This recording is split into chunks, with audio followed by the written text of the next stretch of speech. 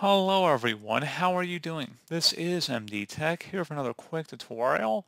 In today's tutorial, I'm going to show you how to enable or disable tab previews in the Windows taskbar when using the Firefox web browser.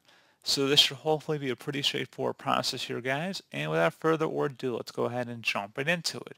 So as we stand right now, let me just go ahead and actually open up a couple of tabs here. Now, if we were to go look at the Firefox icon down the taskbar and you hover over it, it's only going to show the active tab that you're currently viewing. Now, if you want to allow all the tabs to show up down here or show up as many as your display will allow, I'm going to show you guys how to make that modification.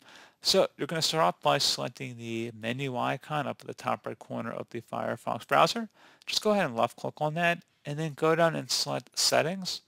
On the right side underneath tabs at the bottom, select Show Tab Previews in the Windows taskbar. Just go ahead and check mark that. And now if you hover over the Firefox icon, it should show all of our tabs down there.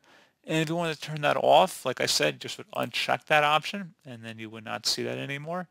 So pretty straightforward process, guys. Do a positive to help you out, and I do look forward to catching you all in the next tutorial.